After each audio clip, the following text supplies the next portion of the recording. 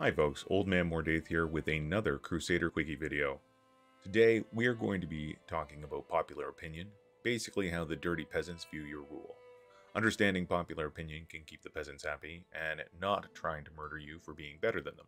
In this video we will go over the mechanics and strategies for affecting the popular opinion score.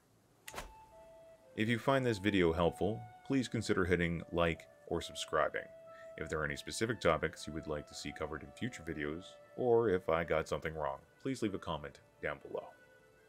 Popular opinion is measured on a by-county basis, so you may find your character's rule appreciated for the golden era that it is in one region, and find the peasants howling for blood, or cake, or heads, or something like that in the next county over.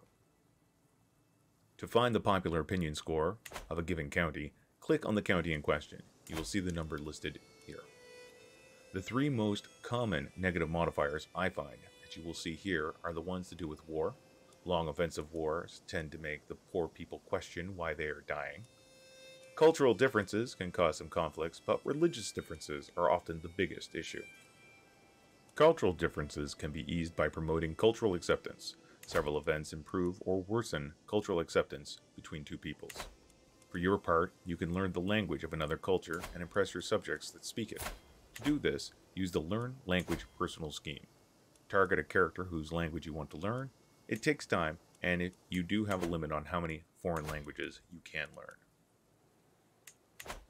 You can make use of the Counselor Steward task to promote culture, which will change the target county to your culture if successful. Alternatively, your steward can be assigned to promote cultural acceptance, if you would rather adopt a more open-minded view on things.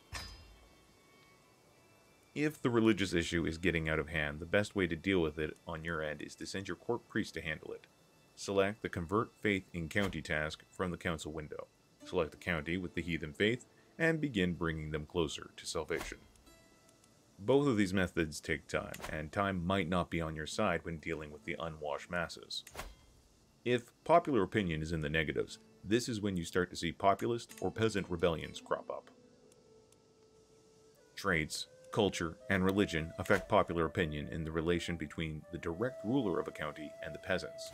Who you put in charge of the land does matter, and you might find people revolting simply because they don't like that you put your Norse Cathar buddy in charge of Italy for a laugh. A ruler who has bought into the stewardship lifestyle path, architect, and has gotten to popular figurehead will enjoy a massive plus 50 boost to their popular opinion score. This will make the likelihood of rebellions under this character's watch unlikely. Remember, this boost is only applied to the territories you directly control. That said, if you appoint someone with the popular figurehead perk to rule over an area, the perk will benefit them in that case. There is a surprising amount that goes with popular opinion, but it isn't hard to understand once you learn the basics. I hope that this video has taught you what is needed so that you too can continue oppressing and exploiting the unwashed masses for fun and profit. Thanks a lot, folks. Uh, we'll see you all next time. Take care.